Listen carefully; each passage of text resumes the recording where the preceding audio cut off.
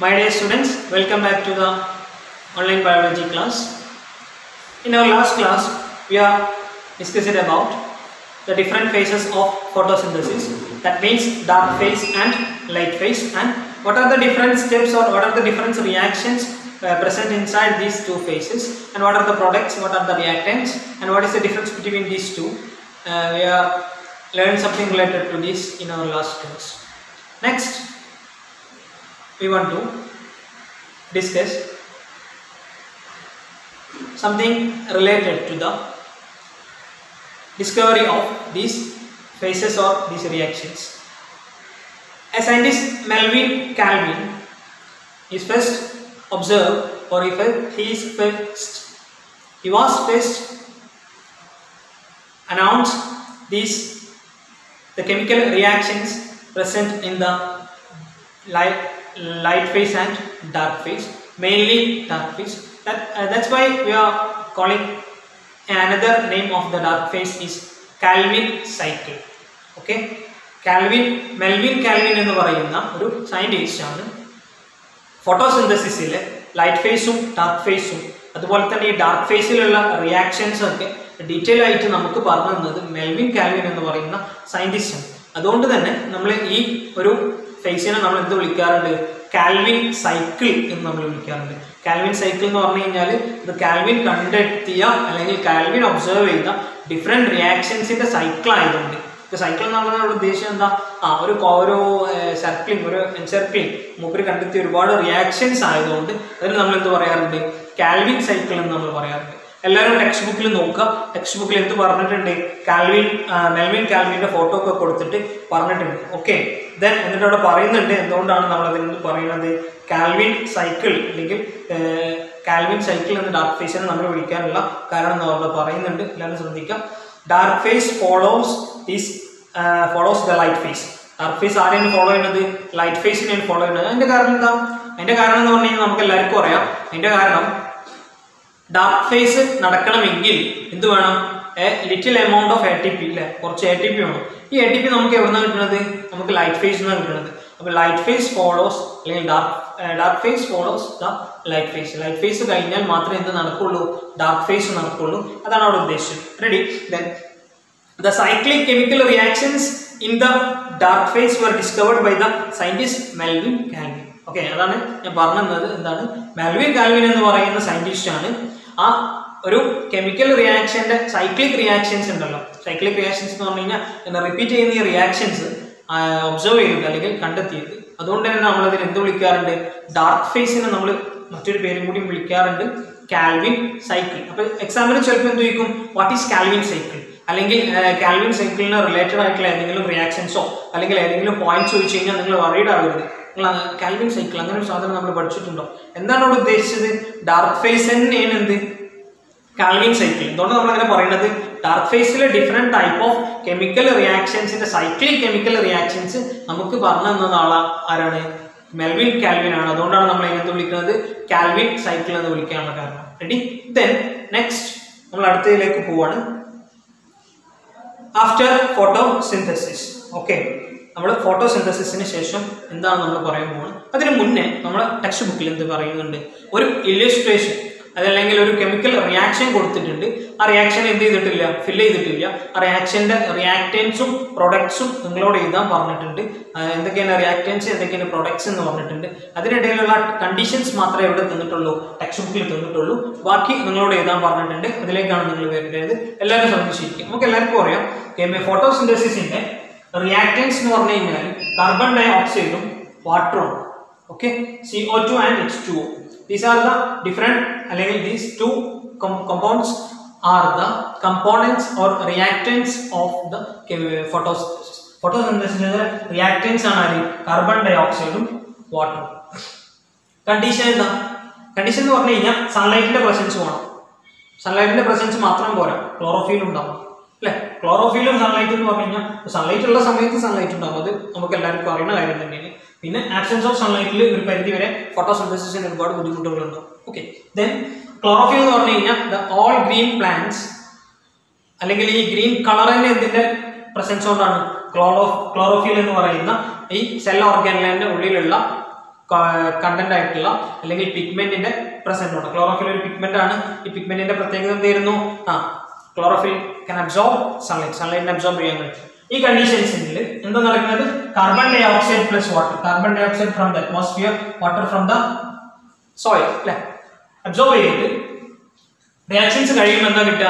Glucose plus oxygen ഇതിൽ oxygen എന്ന് പറഞ്ഞു കഴിഞ്ഞാൽ അതിന് നമുക്ക് നമ്മൾ ഒരു എക്സ്ട്രാ പ്രൊഡക്റ്റ് നമുക്ക് വേണമെങ്കിൽ പറയാം. പക്ഷേ ഈ oxygen is very essential to our nature or our surroundings or other organisms. ഈ ഓക്സിജൻ നമുക്ക് എസെൻഷ്യൽ ആണ്. കാരണം ഈ ഓക്സിജൻ ആണ് നമ്മളിപ്പോൾ ഇൻഹേൽ ചെയ്തുകൊണ്ടിരിക്കുന്നത്. ഓക്കെ നമുക്ക് നമ്മളെ സറൗണ്ടിങ്സിൽ നിന്ന് വരുന്ന ഗ്രീൻ പ്ലാന്റ്സ് പ്രൊവൈഡ് ചെയ്യുന്ന ഓക്സിജൻസിനെയാണ് നമ്മൾ ഇൻഹേൽ ചെയ്തുകൊണ്ടിരിക്കുന്നത്. അപ്പോൾ ഈ oxygen is very important and this is glucose ഇതിനെയാണ് നമ്മൾ എന്ത് പറയാം? ഗ്ലൂക്കോസ് എന്ന് പറയാം. ഓക്കെ നിങ്ങൾക്ക് എല്ലാവർക്കും അറിയാം. റെഡി ശ്രദ്ധിച്ചോ? ഇതിനെയാണ് നമ്മൾ എന്ത് പറയാം? ഗ്ലൂക്കോസ്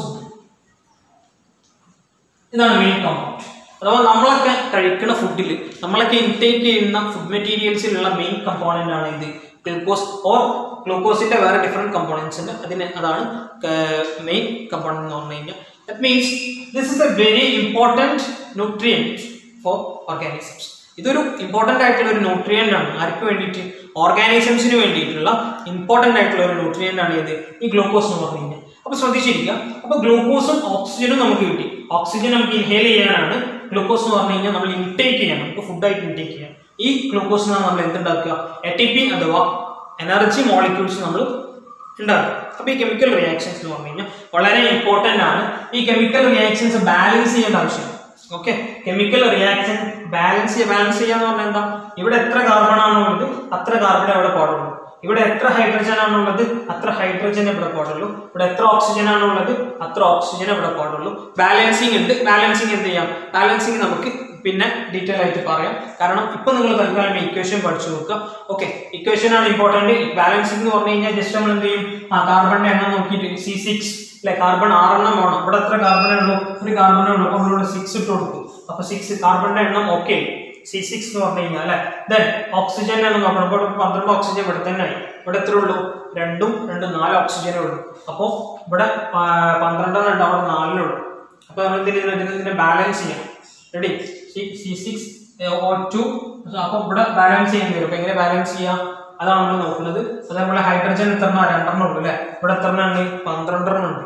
അപ്പൊ എന്ത് ചെയ്താൽ മതി? ഇവിടെ ഒരു ആറിട്ട് കൊടുത്താൽ മതി. അല്ലേ? ആറ് ഇന്റു രണ്ട് പന്ത്രണ്ട്. ഇത് പഠിച്ചിട്ടുണ്ടാവും കെമിസ്ട്രിയിൽ ബാലൻസ് ചെയ്യാനൊക്കെ അപ്പോൾ six C O two plus six H two O C six H twelve plus ah O six എന്ന് പറഞ്ഞു കഴിഞ്ഞാൽ അവിടെ എത്ര ഉണ്ടാവും? അവിടെ നമ്മൾ പറയുമ്പോൾ സിക്സ് ഓ ടു നമുക്ക് കൊടുക്കാം.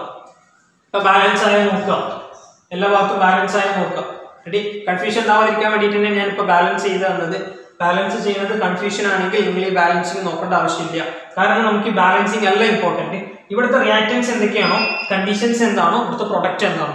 അതാണ് ഇവിടുത്തെ ഇമ്പോർട്ടന്റ് ആയിട്ടുള്ള കാര്യം. പിന്നെ ഈ ബാലൻസ് എന്ന് പറഞ്ഞു കഴിഞ്ഞാൽ ഈ കെമിക്കൽ ഇക്വേഷൻസ് നമ്മൾ ബാലൻസ് ചെയ്യാനുള്ള കാരണം എന്താ വെച്ച് കഴിഞ്ഞാൽ എക്സാമിന് ചിലപ്പോൾ ഈ ബാലൻസ് ചെയ്തിട്ട് ഇക്വേഷൻ ആയിരിക്കും ചോദിക്കാം അപ്പോൾ അതിന് നിങ്ങൾ പേടിക്കേണ്ട ആവശ്യമൊന്നുമില്ല. ഈ ബാലൻസിങ് എമൗണ്ട് നിങ്ങൾ നോക്കണ്ട. നിങ്ങൾ ഇവിടുത്തെ റിയാക്ടൻസിനും ഇവിടുത്തെ പ്രൊഡക്ട്സിനും കറക്റ്റായിട്ട് എഴുതി കൊടുത്താൽ മതി. ഓക്കെ അതുകൊണ്ട് എന്ത് ചെയ്യുന്നില്ല കൺഫ്യൂഷൻസിലേക്ക് പോകുന്നില്ല. ഇവിടെ എത്ര ഹൈഡ്രജൻ ഉണ്ടോ എത്ര കാർബൺ ഉണ്ടോ എത്ര ഓക്സിജൻ ഉണ്ടോ അത് തന്നെയാണ് ഇവിടെ വേണ്ടത് റെഡി അപ്പോൾ ഇതാണ് കണ്ടീഷൻസ് എന്ന് പറഞ്ഞു കഴിഞ്ഞാൽ ഇത് റിയാക്റ്റൻസ് ആണ് ഇത് പ്രൊഡക്ട്സ് ആണ്. ഇമ്പോർട്ടന്റ് ആണ് ഇക്വേഷൻ കാരണം എക്സാമിന് കണ്ടിന്യൂസ് ആയിട്ട് ചോദിക്കണം ക്വസ്റ്റ്യൻ ആണ് ഇത് ഈ ഇക്വേഷൻ എന്ന് പറഞ്ഞു കഴിഞ്ഞാൽ. റെഡി ആണല്ലോ? ഓക്കെ ദെൻ നെക്സ്റ്റ് നമുക്ക് പോകാനുള്ളത് എന്താണ്? ആഫ്റ്റർ ഫോട്ടോസിന്തസിസിലേക്കാണ് അതിന് മുന്നേ എല്ലാവരും ഇക്വേഷൻ ഒന്ന് നോക്കുക. എല്ലാവരും നല്ലോണം ശ്രദ്ധിച്ചോ? എന്താണ് പറയുന്നത് six C O two plus six H two ആണ്. സിക്സ് എന്നുള്ളത് ഇപ്പൊ കൺഫ്യൂഷൻ ഉണ്ടാക്കണ്ട. നമ്മൾ അയച്ചു കഴിഞ്ഞു ഓക്കെ നമ്മൾ എന്ത് ചെയ്യാണ്? നമ്മൾ ജസ്റ്റ് നമുക്ക് പഠിക്കാൻ വേണ്ടിയിട്ട് നമ്മൾ റിയാക്ടൻസും പ്രൊഡക്റ്റും carbon dioxide oxygen sorry വാട്ടറും കമ്പയർ ചെയ്തിട്ട് എങ്ങനെ കമ്പയർ ചെയ്യുന്നത്? സൺലൈറ്റിന്റെയും ക്ലോറോഫിലിന്റെയും പ്രസൻസിൽ കമ്പയർ ചെയ്തിട്ടുണ്ടാകുന്ന ഒരു മെയിൻ കോമ്പൗണ്ട് ആണ് ഗ്ലൂക്കോസ് അതിനോടൊപ്പം ഓക്സിജൻ ഉണ്ടാവുന്നുണ്ട്. ഓക്സിജനെ നമ്മൾ അറ്റ്മോസ്ഫിയറിലേക്ക് പ്രൊവൈഡ് ചെയ്തിട്ട് ഓർഗാനിസംസിന് ഇൻഹേൽ ചെയ്യാൻ വേണ്ടി വിടും ഈ ഗ്ലൂക്കോസ് എന്ന് പറഞ്ഞു കഴിഞ്ഞാൽ എന്ത് ചെയ്യും? ഗ്ലൂക്കോസിനെ ഓർഗാനിസംസ് എന്ത് ചെയ്യും? ഇൻടേക്ക് ചെയ്യും ഫുഡായിട്ട് ന്യൂട്രിയൻസ് ആയിട്ട്.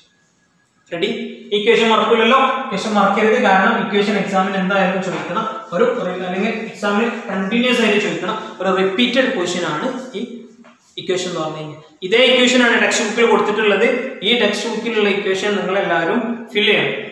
റെഡി ആണല്ലോ? ദെൻ നെക്സ്റ്റ് അടുത്തത് നമുക്ക് പറയാനുള്ളത് ആഫ്റ്റർ ഫോട്ടോസിന്തസിസ് ഫോട്ടോസിന്തസിസ് കഴിഞ്ഞാൽ ഒരു പ്ലാൻ ബോഡിയിൽ എന്താണ് സംഭവിക്കുക എന്നുള്ളതാണ് നെക്സ്റ്റ് നമുക്ക് പറയാനുള്ളത്. റെഡിയാണോ അപ്പോൾ നമുക്ക് ശ്രദ്ധിക്കാം. ഫോട്ടോസിന്തസിസ് കഴിഞ്ഞ് കഴിഞ്ഞാൽ നമുക്കറിയാം. ഓക്സിജൻ ഉണ്ടാവും. ഓക്സിജൻ അറ്റ്മോസ്ഫിയറിലേക്ക് പോകും. പിന്നെ ഉള്ളത് ഗ്ലൂക്കോസ് ആണ്. ആ ഗ്ലൂക്കോസ് എവിടെ ഉണ്ടാവും? ഗ്ലൂക്കോസ് ആ പ്ലാൻ ബോഡിയിൽ ഉണ്ടാവും അല്ലേ? ഗ്ലൂക്കോസ് ആ പ്ലാൻ ബോഡിയിൽ ഉണ്ടാവും. അങ്ങനെ തന്നെ അവിടെ വെക്കുക ഗ്ലൂക്കോസിന് ഒരു പ്രശ്നമുണ്ട്. അല്ലെങ്കിൽ ഒരു പോരായ്മ ഉണ്ട്. ഓക്കെ ഒരു ഡിമെറിറ്റ് നമ്മൾ അങ്ങനെ നമ്മളെ ഭാഷ പറഞ്ഞു കഴിഞ്ഞാൽ ഒരു ഡിമെറിറ്റ് ഉണ്ട്. എന്താ ഡീമെറിറ്റ് എന്ന് പറയും? Glucose is easily soluble in water അങ്ങനെ പറഞ്ഞാൽ എന്താ? സോല്യൂബിൾ എന്ന് പറഞ്ഞു കഴിഞ്ഞാൽ എന്താ?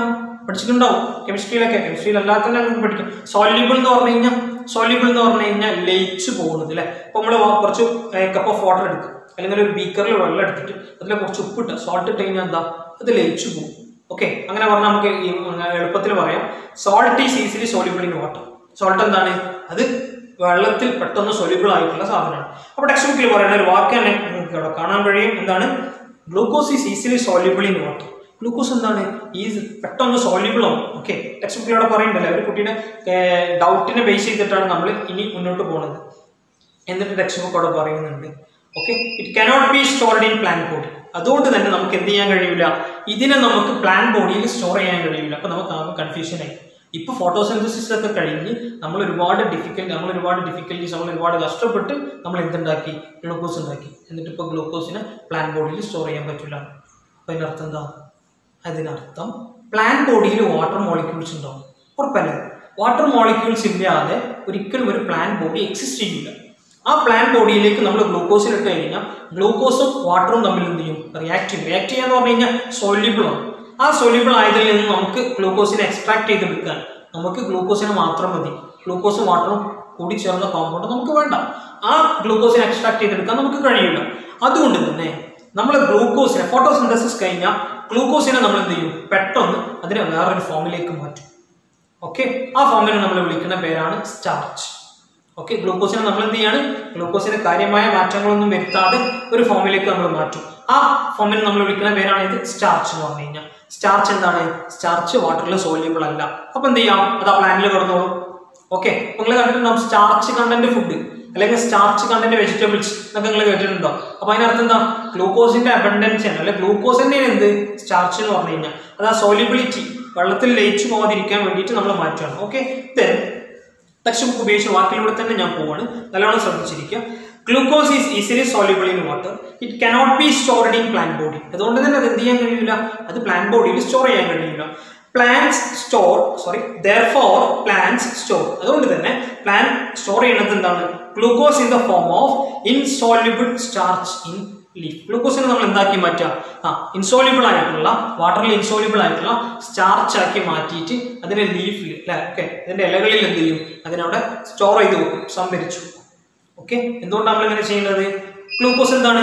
ഈസിലി സോലിബിൾ ആണ്. വാട്ടറിൽ ഈസിലി സോലിബിൾ ആയതുകൊണ്ട് തന്നെ നമ്മൾ അതിനെ എന്ത് ചെയ്യാണ്? നമ്മൾ അതിനെ മാറ്റിയിട്ട് എന്താക്കി മാറ്റാണ് സ്റ്റാർച്ച് ആക്കി മാറ്റാണ് എന്നിട്ട് എന്ത് ചെയ്യും?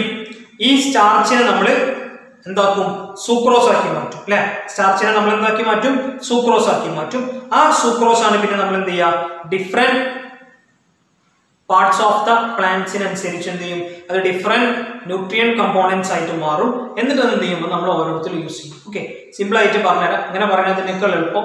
ടെക്സ്റ്റ് ബുക്കിൽ നല്ല ഒരു ഇൻവെസ്റ്റേഷൻ കൊടുത്തിട്ടുണ്ട്. വൺ പോയിന്റ് ഫൈവ് ഓക്കെ കണ്ടോ? Photosynthesis then glucose then starch ഗ്ലൂക്കോസിനെ നമ്മൾ സ്റ്റാർച്ച് ആക്കി. എന്റെ റീസൺ നമ്മൾ ഇവിടെ പറഞ്ഞു. തെൻ സൂക്രോസ് സൂക്രോസ് കഴിഞ്ഞ ശേഷം എന്താണ്? സൂക്രോസ് കഴിഞ്ഞിട്ട് നിങ്ങൾ നേരെ പോകണമെന്നുണ്ടെങ്കിൽ എന്താ? ഷുഗർ കെയിൻ ഷുഗർ കെയിനിൽ പിന്നെ ഒരു റിയാക്ഷൻ ഒന്നും നടക്കണില്ല. എന്താണ്? സൂക്രോസ് സൂക്രോസ് ആയിട്ട് തന്നെയാണ് സ്റ്റോർ ചെയ്ത് വെക്കുന്നത്.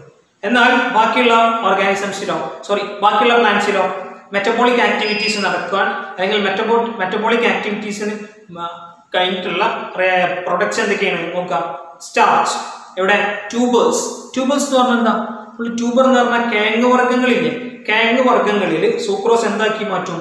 സ്റ്റാർച്ച് ആക്കി മാറ്റി എടുത്തു ദെൻ പ്രോട്ടീൻസ് പ്രോട്ടീൻസ് എന്താ? ലെഗ്യുമിനസ് പ്ലാന്റ്സ് ലെഗ്യുമിനസ് പ്ലാന്റ്സ് എന്ന് പറഞ്ഞു കഴിഞ്ഞാൽ പയർവർഗങ്ങൾ നമുക്കറിയാം പയർവർഗങ്ങൾ ബീൻസ് നോർമൽ ആയിട്ടുള്ള പയർവർഗങ്ങൾ ഈ ലെഗ്യുമിനസ് പ്ലാന്റ്സ് ഇല്ലേ? പി പ്ലാന്റ്സ് ഈ പി പ്ലാന്റ്സ് ആണ് ലെഗ്യുമിനസ് പ്ലാന്റ്സ് എന്ന് പറഞ്ഞു കഴിഞ്ഞാൽ ഈ ലെഗ്യുമിനസ് പ്ലാന്റ്സിൽ പ്രോട്ടീൻ ഉണ്ടാവും. അപ്പൊ എന്താണ്? സൂക്രോസിനെ മെറ്റബോളിക് ആക്ടിവിറ്റീസ് വഴി എന്താക്കി? പ്രോട്ടീൻ ആക്കി മാറ്റി. ദെൻ ഫാറ്റ് സുക്രോസ് നമ്മൾ ഫാറ്റ് ആണ് എങ്ങനെ? ഓയിൽ സീഡ്സ് ഓയിൽ സീഡ്സ് എന്ന് പറഞ്ഞു കഴിഞ്ഞാൽ എണ്ണക്കുരുകൾ. എണ്ണ കിട്ടുന്ന കുരുകളില്ലേ അതിനെ ഓയിൽ സീഡ്സ് എന്ന് പറയും. ദെൻ നമ്മളതിനെ ഫ്രക്ടോസ് ആക്കി മാറ്റും. ഫ്രക്ടോസ് എന്ന് പറഞ്ഞു കഴിഞ്ഞാൽ ഇതൊക്കെ എന്തിന്റെ ഡിഫറൻസ് ഫ്രക്ടോസ് എന്ന് പറഞ്ഞു കഴിഞ്ഞാൽ നമ്മൾ ഈ ഗ്ലൂക്കോസിന്റെ ഒരു അനദർ ഫോം ആയിട്ട് നമുക്ക് പറയാം. ഫ്രക്ടോസ് എന്താണ്? ഫ്രക്ടോസും ഫ്രൂട്ട്സ് ഫ്രൂട്ട്സിൽ എന്താണ് ഫ്രക്ടോസ് ആണ് അപ്പൊ എന്താ സംഭവിക്കുന്നത് ഫോട്ടോസിന്തസിസ് കഴിഞ്ഞാൽ എല്ലാവർക്കും ഗ്ലൂക്കോസ് കിട്ടും. ഗ്ലൂക്കോസിൽ എല്ലാവരും സ്റ്റാർച്ച് ആക്കും. സ്റ്റാർച്ചിനെ പിന്നെ സൂക്രോസ് ആക്കും. സൂക്രോസിനെ പിന്നെ എന്ത് ചെയ്യും? ഡിഫറെന്റ് ബോഡി ഏതാണ്? അപ്പൊ ചില പ്ലാന്റ്സിന്റെ നമ്മൾ എന്ത് ചെയ്യും? റൂട്ട് അല്ലെങ്കിൽ ചില പ്ലാന്റ്സിന്റെ റൂട്ട് പേജ് അല്ലെങ്കിൽ കിഴങ്ങ് ട്യൂബേഴ്സാണ് കഴിക്കുക. എന്നാൽ ചില പ്ലാന്റ്സിന് എന്താ കഴിക്കുക? ലീഫാണ് കഴിക്കുക. ചില പ്ലാന്റ്സിന്റെയോ ചില പ്ലാന്റ്സിന്റെ ഫ്രൂട്ട്സ് ഫ്രൂട്ട്സ് എന്ന് പറഞ്ഞു കഴിഞ്ഞാൽ അതിൽ നിന്നുണ്ടാവുന്ന ആ പഴം അല്ലെങ്കിൽ ആ കഴിക്കനികളാണ് നമ്മൾ കഴിക്കുക. അതിനനുസരിച്ച് എന്ത് ചെയ്യും? അതിന്റെ ഓരോ ഫോമിൽ നമ്മൾ മാറ്റും റെഡി ദെൻ അപ്പോൾ ഒന്നുകൂടി പറയാണ്. എങ്ങനെയൊക്കെയാണ്?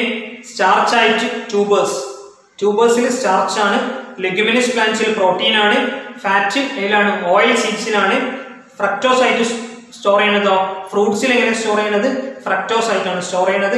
ദെൻ സൂക്രോസ് ആയിട്ട് സ്റ്റോർ ചെയ്യുന്നത് ഇതിലാണ് ഷുഗർ കെയിനിലാണ് ഓക്കെ അപ്പോൾ ഇൻസ്ട്രേഷൻ വൺ പോയിന്റ് ഫൈവ് എന്താണ്?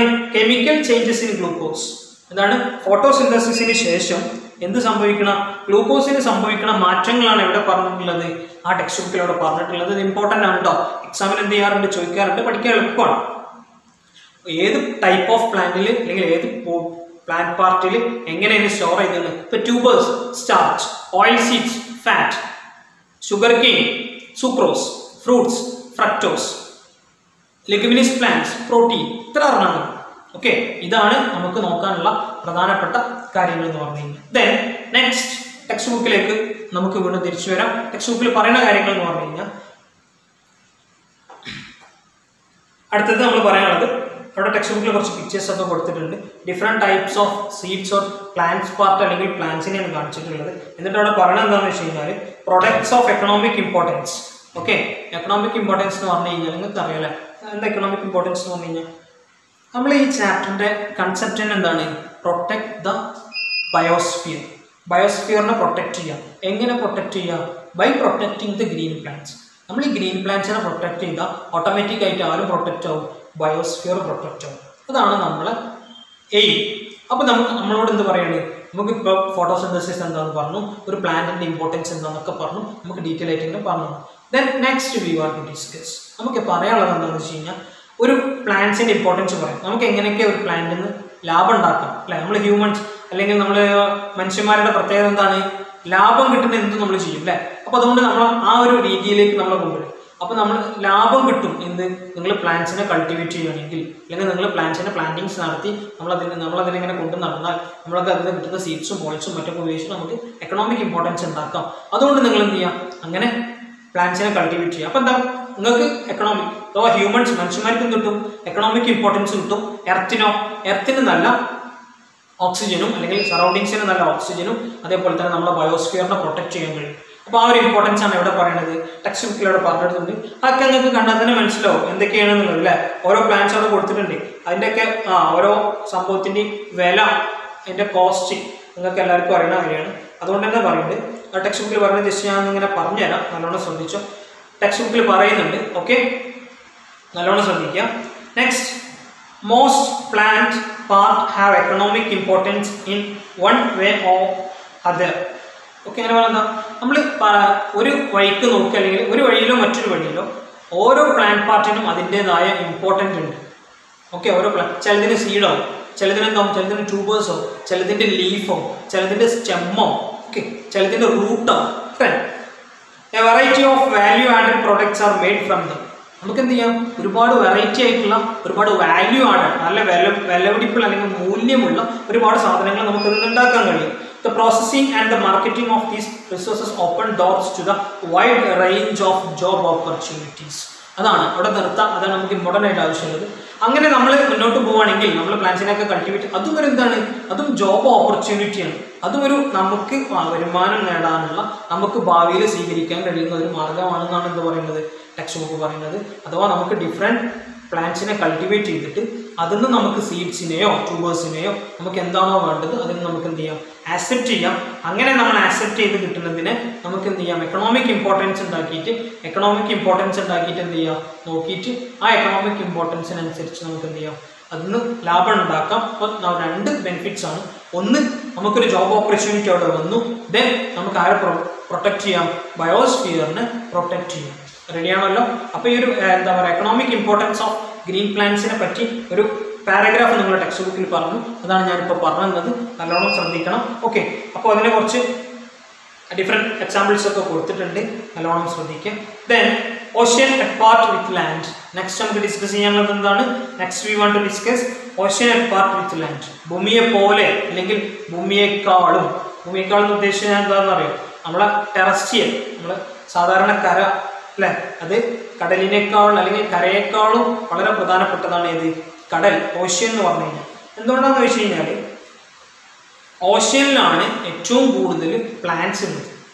ഓക്കെ ഏറ്റവും കൂടുതൽ പ്ലാന്റ്സ് ഉള്ളത് എവിടെയാണ്? ഓഷ്യനിലാണ്. എന്ന് പറഞ്ഞു കഴിഞ്ഞാൽ ഡിഫറെന്റ് ഓഷ്യൻ നമുക്ക് എല്ലാവർക്കും പറയാം ഇപ്പോൾ എർത്ത് എടുക്കാം. നിങ്ങളൊരു എർത്തിന്റെ ഗ്ലോബ് എടുത്തിട്ട് ജസ്റ്റ് ഇങ്ങനെ അതിനെ ഇങ്ങനെ റൊട്ടേറ്റ് ചെയ്ത് നോക്കുക. നിങ്ങൾക്ക് കൂടുതൽ ഏത് റീജിയനാണ് കാണാൻ കഴിയുക? ഓഷ്യൻ റീജിയനെ കാണാൻ അപ്പോൾ അതിനകത്ത് എന്താ? കൂടുതലും ഓഷ്യൻ ആണെങ്കിൽ ഓഷ്യൻസിലും എന്തുണ്ട്? പ്ലാന്റ്സ് ഉണ്ട് അല്ലേ? ഓഷ്യൻ പ്ലാന്റ്സ് അക്കോട്ടിക് പ്ലാന്റ്സ് ഒരുപാടുണ്ട്. ആൽഗെ ബ്രയോഫൈറ്റ്സ് ഒക്കെ നിങ്ങൾ ഇങ്ങനെ കേട്ടിട്ടുണ്ടോ? അപ്പോൾ ഈ ആൽഗെ എന്നൊക്കെ പറഞ്ഞു കഴിഞ്ഞാൽ ചില സി അല്ലെങ്കിൽ ഓഷ്യൻ എടുത്താൽ അവിടെ ഫുൾ ആൽഗെ അത് കൂടി എന്തുണ്ടാവില്ല ചിലപ്പോൾ ഷിപ്പിന്റെ പാത്ത് നമ്മൾ നമ്മൾ പറയില്ല ഷിപ്പിനുള്ള റൂട്ട് മാപ്പ് ഉണ്ടാവും കപ്പൽ സാധാരണ സഞ്ചരിക്കലിലൂടെയാണ് കടലിലൂടെയാണ്. കടലിലൂടെ കപ്പലിന് പോവാൻ പോലും പറ്റാത്ത അത്ര ആൽഗകളുള്ള ഓഷ്യൻസ് ഉണ്ട്. ഓക്കെ അപ്പോൾ അതിനകത്ത് എന്താ? അത്രയും അത്രയും വലിയ അല്ലെങ്കിൽ അത്രയും നീണ്ടു കിടക്കണ ആൽഗേസിന്റെ ഒരു കളക്ഷൻ തന്നെയുള്ള ഒരുപാട് സ്ഥലങ്ങളുണ്ട്. ഓക്കെ ടെക്സ്റ്റ് ബുക്കിൽ എക്സ്ട്രാ റീഡിങ്സിൽ ഒരു പക്ഷേ കൊടുത്തിട്ടുണ്ടാവും. ആൽഗാൻ ആ ഫൈറ്റോ പ്ലാങ്ക്ടൻസ് എന്ന് പറഞ്ഞിട്ട് അവിടെ കൊടുത്തിട്ടുണ്ട്. ഓക്കെ ടെക്സ്റ്റ് ബുക്കിൽ അവിടെ കൊടുത്തിട്ടുണ്ട്. അതിലൂടെ പറയുന്നുണ്ട് ആൽഗേസ് എന്ന് പറഞ്ഞു കഴിഞ്ഞാൽ ഡിഫറെന്റ് കമ്പോണൻസ് ഉള്ള അല്ലെങ്കിൽ ഡിഫറെന്റ് കളേഴ്സ് ഉള്ള ആൾക്കാരുണ്ട്. സർഗാസം എന്നൊക്കെ പറഞ്ഞിട്ട് അവിടെ എക്സാമ്പിൾസ് ഒക്കെ കൊടുത്തിട്ടുണ്ട്. അത് അപ്പോൾ ഒരു എക്സ്ട്രാ റീഡിങ് അല്ലെങ്കിൽ ഒരു പുതിയ അറിവിലേക്ക് വേണ്ടിയിട്ട് ഞാൻ നിങ്ങൾക്ക് പറയുകയാണ് ഒരു ഓഷ്യൻ ഉണ്ട്. ആ ഓഷ്യന് ഓഷ്യനിൽ ഫുൾ ആൽഗീസ് ആണ്. അതിലൂടെ ഒരിക്കലും എന്തുണ്ടാവില്ല കപ്പലൊന്നും ചെയ്യില്ല അപ്പോൾ ആൽഗേസിന്റെ ഇമ്പോർട്ടൻസ് നിങ്ങൾക്ക് മനസ്സിലായിട്ടുണ്ടാവും അതിനർത്ഥം ഞാൻ ഇപ്പോൾ പറഞ്ഞു എന്താണെന്ന് വെച്ച് കഴിഞ്ഞാൽ നമ്മൾ അക്വാട്ടിക് പ്ലാന്റ്സ് ടെറസ്ട്രിയൽ പ്ലാന്റ്സിനെക്കാട്ടിലും നമ്പേഴ്സ് ഹൈ ആണ്. ആ ഓഷ്യൻ അക്വാട്ടിക് പ്ലാന്റ്സ് ആണ് കൂടുതൽ കടലിലാണ് സസ്യങ്ങൾ അല്ലെങ്കിൽ പ്ലാന്റ്സ് കൂടുതൽ. എന്താ? അതിന്റെ കാരണം എന്താ? കടലാണ് കൂടുതൽ. കരയെക്കാട്ടിലും കടലാണ് കൂടുതൽ. അപ്പോൾ പ്ലാന്റ്സും എന്തിനായിരിക്കും കൂടുതൽ? കടലിലെ പ്ലാന്റ്സ് അഥവാ സിമ്പിളായിട്ട് പറഞ്ഞു സെവന്റി ടു എയ്റ്റി പെർസെന്റേജ് എങ്ങനെ പറയാം? Seventy two eighty seven zero two eight zero seventy two eighty percentage of oxygen are provided from the aquatic plants aquatic plants ആണ് എഴുപത് മുതൽ എൺപത് ശതമാനം വരെ ഓക്സിജൻ പ്രൊവൈഡ് ചെയ്യുന്നത്. ഇത്ര പോരെ. നമുക്ക് വളരെ എളുപ്പത്തിൽ മനസ്സിലാക്കാൻ. അത്രയും ഓക്സിജൻ പ്രൊവൈഡ് ചെയ്യുന്നത് ആരാണ്? അക്കോട്ടിക് പ്ലാന്റ്സ് ആണ്. അപ്പോൾ അക്കോട്ടിക് പ്ലാന്റ്സിന്റെ ഇമ്പോർട്ടൻസ് നമുക്ക് പറയാം. അപ്പോൾ നിങ്ങൾക്ക് ഇങ്ങനെ സ്വാഭാവികമായിട്ട് ഒരു സംശയം ഉണ്ടാവും ഇതൊക്കെ ഇപ്പോൾ നമ്മൾ എന്തിനാണ് പഠിക്കുന്നില്ല അക്കോട്ടിക് പ്ലാന്റ്സിന്റെ ഇമ്പോർട്ടൻസ് എന്തിനാണ് നിങ്ങളോട് പറയുന്നത് പറയും നമ്മളെ ഓഷ്യൻസ് ഉണ്ടല്ലോ. ഓഷ്യൻസ് ഭയങ്കര പൊല്യൂട്ടഡ് ആയിക്കൊണ്ടിരിക്കും. ഒരുപാട് കൺട്രീസ് അല്ലെങ്കിൽ ഒരുപാട് രാജ്യങ്ങൾ ഡിഫറെന്റ് ടൈപ്പ് ഓഫ് കൺട്രീസ് ഒരുപാട് രാജ്യങ്ങൾ അവരുടെ ഈ വേസ്റ്റുകൾ അല്ലെങ്കിൽ അതല്ലെങ്കിൽ അവരുടെ ന്യൂക്ലിയർ വേസ്റ്റുകളൊക്കെ ഡെപ്പോസിറ്റ് ചെയ്യുന്നത് എവിടെയാണ്? ഓഷ്യനിലും. അങ്ങനെ ഓഷ്യനിൽ ഡെപ്പോസിറ്റ് ചെയ്യുമ്പോൾ നമ്മളറിയാം നമുക്ക് വേസ്റ്റ് പെട്ടെന്ന് വിളിച്ചറിയാൻ തോന്നില്ല തോട്ടുക അല്ലെങ്കിൽ പുഴയൊക്കെ ആണെങ്കിൽ നമ്മൾ അവിടെ വിളിച്ചത് അത് ഒലിച്ചു പോയിക്കില്ല പറയും. ഇത് എങ്ങോട്ടാ ഒലിച്ചു പോകുന്നത് നമ്മൾ ഭൂമി വിണ്ടിട്ടാണ് അതിങ്ങനെ ഒലിച്ചു പോയാൽ പിന്നെ നമുക്ക് ഇങ്ങോട്ട് തന്നെ വരാനുള്ളത് നമ്മുടെ അടുത്തേക്ക് തന്നെ വരാനുള്ളത്. പക്ഷെ അത് വേസ്റ്റ് ആയിട്ടുള്ള വരും. അത് ഒരുപാട് ഹാംഫുൾ ആയിട്ടുള്ള ഒരുപാട് കോമ്പൗണ്ട്സ് അല്ലെങ്കിൽ ഹാംഫുൾ ആയിട്ടുള്ള ഒരുപാട് രീതിയിലാണ് നമ്മൾ എഫക്റ്റ് ചെയ്യും. അതുകൊണ്ട് തന്നെ പറയാനുള്ളത് ഓഷ്യൻസിനെ പ്രൊട്ടക്റ്റ് ചെയ്യണം. അതിന് വേണ്ടിയിട്ടാണ് നിങ്ങളുടെ ടെക്സ്റ്റ് ബുക്ക് എന്ത് പറയുന്നത് ഓഷ്യൻസിന്റെ ഇമ്പോർട്ടൻസ് പറയുന്നത്. എല്ലാവരും ടെക്സ്റ്റ് ബുക്കിൽ ആ പിക്ചർ എടുക്കാം. ആ പിക്ചറിൽ ഞാൻ ജസ്റ്റ് ഒന്ന് എക്സ്പ്ലെയിൻ ചെയ്തു തരാം. ഓക്സിജൻ പ്രൊവൈഡ് ചെയ്യുന്നത് ഫൈറ്റോ പ്ലാന്റൻസ് എന്ന് പറഞ്ഞു കഴിഞ്ഞാൽ it's a type of aquatic plants then algaes and water plants algaes and water plants എന്ന് പറഞ്ഞു കഴിഞ്ഞാൽ എന്താ? ആൽഗേ എന്ന് പറഞ്ഞു കഴിഞ്ഞാൽ it's a type of plants present in oceans or other aquatic regions that means that means type of aquatic plants then അവിടെ കൊടുത്തിട്ടുണ്ട് food oxygen ഒക്കെ കൊടുത്തിട്ടുണ്ട്. അതിൽ വളരെ കുറച്ച് ഫിഷസും അതേപോലെ തന്നെ ഫിഷും അതേപോലെ അക്കോട്ടിക് ആയിട്ടുള്ള ഒരുപാട് ഓർഗാനിസംസ് ഉണ്ട്. അവരെടുക്കണുള്ളൂ. ബാക്കിയൊക്കെ എന്താണ്? ബാക്കിയൊക്കെ പ്രൊവൈഡ് ചെയ്യുന്നത്. അല്ലെങ്കിൽ ബാക്കിയൊക്കെ ബാക്കി ഓക്സിജനും ബാക്കി ന്യൂട്രിയൻസും കാര്യങ്ങളൊക്കെ നമ്മൾ പ്രൊവൈഡ് ചെയ്യുന്നത് അതർ ഓർഗാനിസംസ് മെയിൻ ആയിട്ടും അപ്പോൾ നമ്മളിപ്പോൾ ഓഷ്യൻസിന് ഇങ്ങനെ പൊലൂ ഓഷ്യൻസിന്റെ പൊല്യൂഷൻ നമ്മൾ കൺട്രോൾ ചെയ്തില്ല എന്ന് വിചാരിക്കുക. എന്ത് സംഭവിക്കാം? അക്കോട്ടിക് ഓർഗാനിസംസ് ഉണ്ട്. ഒരൊക്കെ നശിച്ചു ഒരൊക്കെ എന്ത് ചെയ്യും? ഒരൊക്കെ ഈ ഭൂമിയിൽ എക്സ്റ്റിങ്റ്റ് ആവും ദെൻ ഒരുപാട് ഓർഗൻ ഒരുപാട് ഗ്രീൻ പ്ലാന്റ്സ് ഉണ്ട്. ഫൈറ്റോ പ്ലാന്റൻസ് ഉണ്ട് ആൽഗേറ്റ്സ് ഒക്കെ ഉണ്ട്. ഇതൊക്കെ നശിച്ചു അപ്പോൾ എന്താണ്ടാവുക seventy two eighty percentage oxygen provide ചെയ്യുന്നത് സിക്സ്റ്റി ഫിഫ്റ്റി ഫോർട്ടി ആയിട്ട് ഇങ്ങനെ കുറഞ്ഞ് കുറഞ്ഞ് കുറഞ്ഞ് വരും. അങ്ങനെ ലാസ്റ്റ് നമ്മൾ അറ്റ്മോസ്ഫിയറിലുള്ള ഓക്സിജന്റെ എമൗണ്ട് ഉണ്ടല്ലോ അത് കുറയും. അതില്ലാതിരിക്കാൻ വേണ്ടിയിട്ടാണ് ടെക്സ്റ്റ് ബുക്ക് നിങ്ങളോട് നിങ്ങൾക്ക് ഈ കാര്യം പറഞ്ഞു തന്നത്. എന്താണ്? നമ്മൾ ഈ സറൗണ്ടിങ്സിലുള്ള ഗ്രീൻ പ്ലാന്റ്സിനെ പ്രൊട്ടക്ട് ചെയ്യൽ മാത്രമല്ല വളരെ ഇമ്പോർട്ടന്റ് ആയിട്ടുള്ള മറ്റൊരു കാര്യമുണ്ട് എന്താണ് ഓഷ്യൻ അല്ലെങ്കിൽ അക്വാട്ടിക് പ്ലാന്റ്സിനെ നമ്മൾ എന്ത് ചെയ്യണം? പ്രൊട്ടക്ട് ചെയ്യണം. അല്ലെങ്കിൽ ഓഷ്യൻസിൽ ഉണ്ടാവുന്ന വേസ്റ്റ് ഉണ്ടല്ലോ. നമ്മൾ ഓഷ്യൻസിൽ ഡെപ്പോസിറ്റ് ചെയ്യുന്ന ഒരുപാട് വേസ്റ്റും ന്യൂക്ലിയർ വേസ്റ്റ് ഒക്കെ ഇട്ട് കഴിഞ്ഞാൽ അത് ഒരുപാട് വർഷം നൂറുകണക്കിന് വർഷം അത് അവിടെ കിടക്കും. അത് അവിടെ കിടന്നിട്ട് ആ റീജിയനെ മുഴുവൻ എന്ത് ചെയ്യും? നശിപ്പിക്കും. പിന്നെ അവിടെ പ്ലാന്റ്സ് ഒന്നും ഉണ്ടാവില്ല. പ്ലാന്റ്സ് ഒന്നും ഉണ്ടാവാനുള്ള കഴിവുണ്ടാവില്ല അങ്ങനെയൊക്കെ ഉണ്ടാവാതിരിക്കാൻ അല്ലെങ്കിൽ അങ്ങനെയൊന്നും ന്യൂക്ലിയർ വേസ്റ്റ് ഒന്നും ഡംപ് ചെയ്യാതെ നമ്മൾ ഈ ഓഷ്യൻസിനെ പ്രൊട്ടക്ട് ചെയ്യണം എന്നുള്ളതാണ് എവിടെ പറയുന്നത്? ടെക്സ്റ്റ് ബുക്ക് നിങ്ങൾക്ക് ഇവിടെ പറഞ്ഞു തരുന്നത് ഓക്കെ ഇത്രയും കാര്യങ്ങളാണ് നമുക്ക് ഇന്ന് പറയാനുള്ളത്. നമ്മൾ എന്തൊക്കെയാണ് പറഞ്ഞത്? നമ്മുടെ മെൽവിൻ കാൽവിൻ എന്നുള്ള ഒരു സയന്റിസ്റ്റ് നമ്മൾ പരിചയപ്പെട്ടു. അതിനുശേഷം നമ്മളൊരു ഇമ്പോർട്ടന്റ് ആയിട്ടുള്ള ഒരു റിയാക്ഷൻ പറഞ്ഞു. ഫോട്ടോസിന്തസിസിന്റെ റിയാക്ഷൻ നമ്മൾ ചുരുക്കി പറഞ്ഞു. ഡാർക്ക് ഫേസും ലൈറ്റ് ഫേസും കൂടി കൂട്ടിച്ചേർത്തിട്ട് ഒരൊറ്റ ഇക്വേഷൻ ആയിട്ടാണ് നമ്മൾ പറഞ്ഞത്. അത് കഴിഞ്ഞതിന് ശേഷം നമ്മൾ എന്ത് പറഞ്ഞു? ദെൻ നമ്മൾ ആഫ്റ്റർ ഫോട്ടോസിന്തസിസ് എന്തൊക്കെ കെമിക്കൽ ചേഞ്ചസ് ആണ് നടക്കുന്നത് എന്ന് പറഞ്ഞു. അത് ഡിഫറെന്റ് ബോഡി പ്ലാൻ ബോഡീസിൽ പ്ലാൻ പാർട്ടിൽ എങ്ങനെയാണ് നടക്കുന്നത് എന്ന് പറഞ്ഞു then important of aquatic plants important of ocean plants നമ്മൾ എന്ത് ചെയ്തു പറഞ്ഞു? ഓക്കെ ഇത്രയും കാര്യങ്ങളാണ് പറഞ്ഞത്.